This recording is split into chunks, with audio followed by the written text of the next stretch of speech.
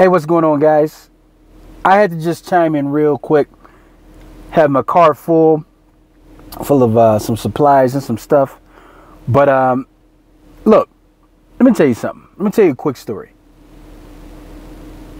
When I arrived in the military, I was a 17 year old kid coming from the South. Background was Baptist, Baptist, uh, you know, Christianity style, right?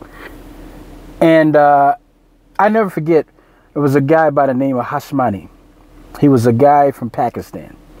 And I remember making fun of that dude about ham sandwiches and ham. And I never forget the time he went to a strip club and it was like, oh my gosh, he was covering his eyes. It was just, it was just a funny thing, right? Years later, I became Muslim because I found out that really I didn't know much about different cultures, different religions, different anything. And I think that's the problem that a lot of people are having is ignorance. Ignorance is the fuel of racism. Because people have too much pride to just say they don't know something and just assume something. So people walk around with all these assumptions of people. Oh, um, you know, black people are this way, uh, white people are this way, uh, Mexican people are this way. They don't have any information. It's all made up. It's all from the media. Right? I would say to the end of time, traveling is the best education known to man. If you don't travel, a lot of the times you don't learn. So I think a lot of human beings need to humble themselves and say, hey, if I don't understand a race, if I don't understand people, I need to take some time out of my day for my personal growth and get to know everyone. Because what I'm saying is this hate stuff, man, is crazy. Like, you know, there's these white na- nationalists, this is going on, you know, black power groups. And, you know, I said, and some people was like, well, look, dude, why are you talking about black power groups now? Well, because the thing is, you can't talk about one group and then not talk about the other. This is all together, meaning like we all need to just grow up and say, look, we were created by the same creator. I got two arms, two legs. When I wake up in the morning time, I got to go take a piss right away. And I'm a black guy. I'm sure there's a white guy that has to go take a piss right away when he wakes up. Our architect is God. So everybody's talking about these man-made problems and read this book and all this. It's all hogwash. Look, it's all man-made crap. You're not going to solve a problem by trying to prove someone wrong or whatever. And, and you know, well, see here, here is this author that wrote about race. Look, let me tell you something. God didn't make us by accident. He didn't create different people by accident. It was planned. So, one of the tests is to be able to love someone that doesn't look like you.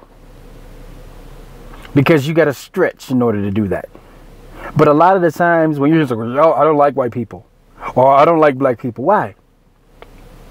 And you listen to their their reason for it, and it's crazy.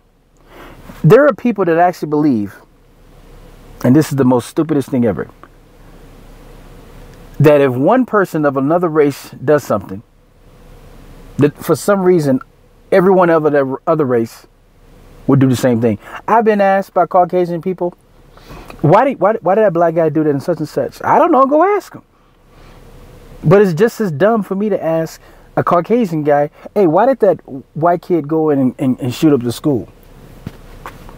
Didn't do it. We have different minds. We have a different fingerprint. We all don't think the same. We all don't act the same. But what we see is if we see a person do an act, we look at another person that's the same color, and with our limited thinking, we're thinking like, oh, they're just like them. It's crazy. But it's a different background, uh, different upbringing, you know, different books read, different experience, but somehow we think that they're all going to act just alike.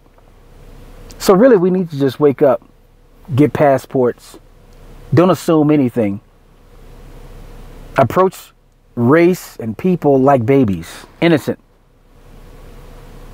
Because you don't even know what people are thinking. You don't even know what people are all about. And and and just live your life.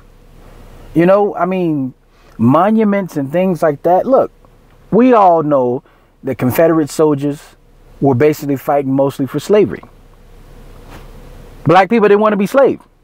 Simple as that. You know, put yourself in that same situation and ask yourself, what would you want?